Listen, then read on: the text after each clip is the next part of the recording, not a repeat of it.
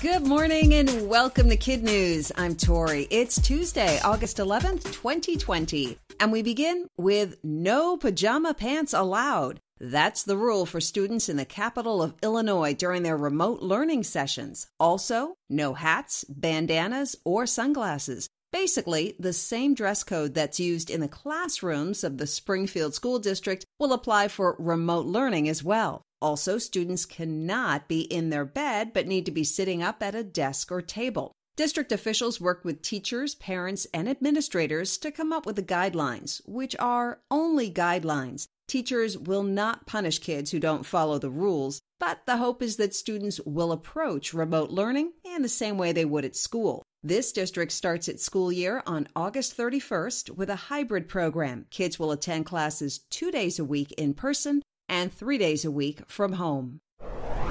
The magic may be back at Disney World, but soon for fewer hours in the day. The Florida theme park is scaling back its operating hours, apparently due to lower than expected attendance. Disney reopened in July after being closed for four months with lots of safety rules in place, like mandatory masks and temperature checks on arrival. Still, many people are staying away because of a big drop in long distance traveling. So, starting in early September, Magic Kingdom, Animal Kingdom, Epcot, and Hollywood Studios will shave one to two hours off the time they're open to the public, with most either opening later, closing earlier, or both.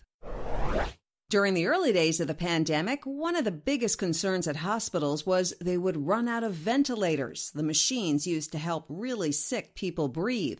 And they aren't cheap, costing between $25,000 and $50,000. Now, a group of volunteer doctors and engineers has come up with an inexpensive way to make these machines that has been approved by the federal government. And one of the members of this group is a teenager who also happens to be the reigning Jeopardy Teen Tournament champion. 18 year old Avi Gupta is a software engineer and says the original model was made in a volunteer's garage. The parts to put it together cost just $400, and the instructions will be free, so the life saving machines can be made and used anywhere in the world.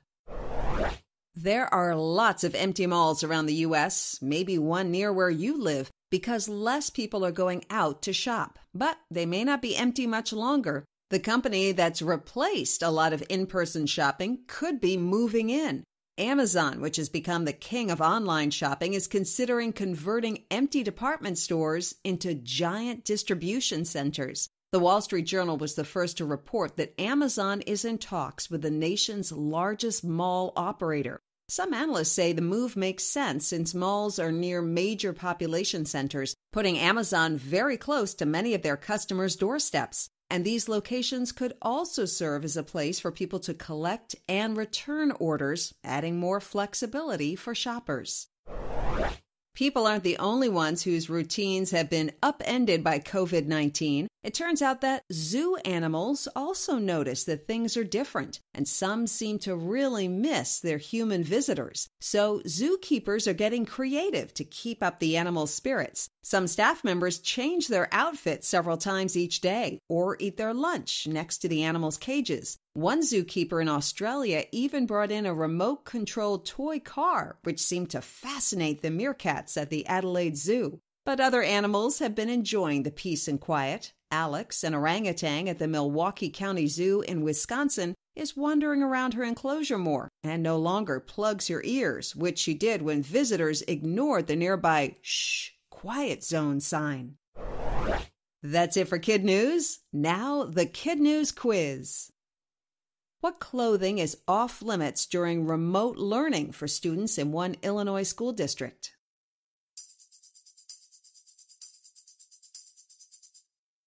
Pajama pants, hats, bandanas, and sunglasses. What change is coming to Disney World parks next month?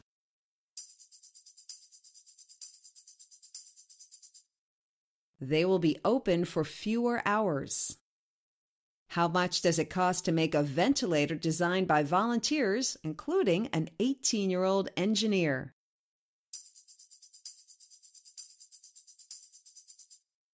The parts cost just $400. what kept meerkats entertained at the Adelaide Zoo in Australia during the pandemic forced shutdown.